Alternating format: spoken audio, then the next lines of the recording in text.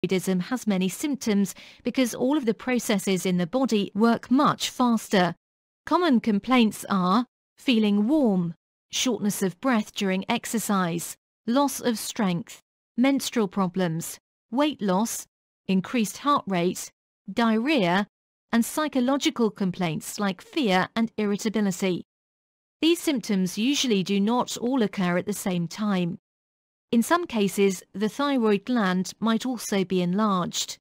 The most common cause of hyperthyroidism is Graves' disease. It is an autoimmune disease where your body produces antibodies to stimulate the thyroid gland, which produces excessive thyroid hormone, more than the requirement for normal functioning of the body. Graves' disease may also cause eye problems. Unlike hyperthyroidism, hypothyroidism means that the thyroid gland produces decreased thyroid hormone,